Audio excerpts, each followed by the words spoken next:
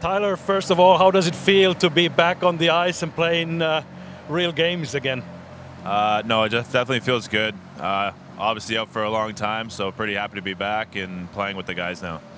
Uh, you were sitting and watching the games. How tough is that on somebody who wants to play to, to have to watch the games?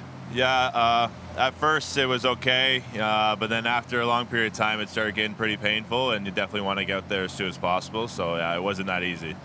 Tyler sagt, es war nicht einfach, sich die Spiele anzuschauen. Er war ja lange Zeit verletzt, hat dann oben immer gesessen, sich die Spiele angeschaut und ähm, einer, der spielen will, das ist wirklich äh, was sehr, sehr Hartes. Am Anfang war es gar nicht so schlimm, aber es wurde immer schlimmer, dann einfach die Spiele nur sich anschauen zu können. You're playing on the line with Schwartzy and the new guy, Cramarossa. How does that click?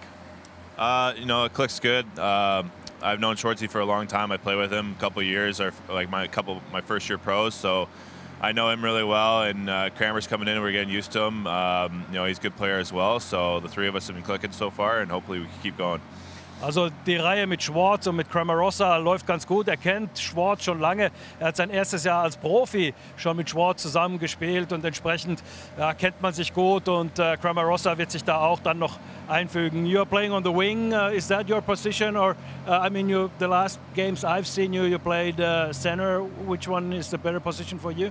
Uh, I mean I've always been a centerman. Uh, so centerman's my position. Uh, they're utilizing me on the wing right now. Me and Schwartzy are kind of tandeming, uh, playing center. We both take draws on our strong side, and then whoever gets to the D zone first plays center.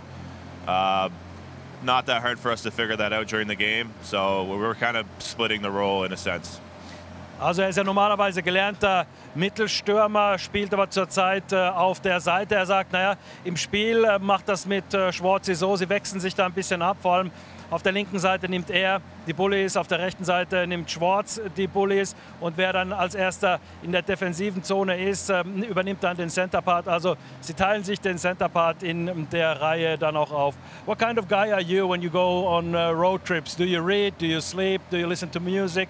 Do you watch videos or, or movies? What do you do?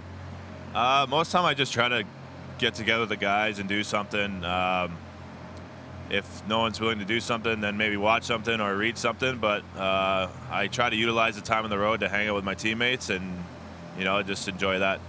Also er ist eher der Typ, der will mit den Jungs zusammen sein, mit den Jungs äh, Zeit verbringen äh, bei Auswärtsfahrten. Aber wenn mal nichts äh, ansteht, dann liest er auch mal oder schaut sich äh, auch dann mal was an. Now you're responsible for the music, for the warm-up music. What are you gonna play?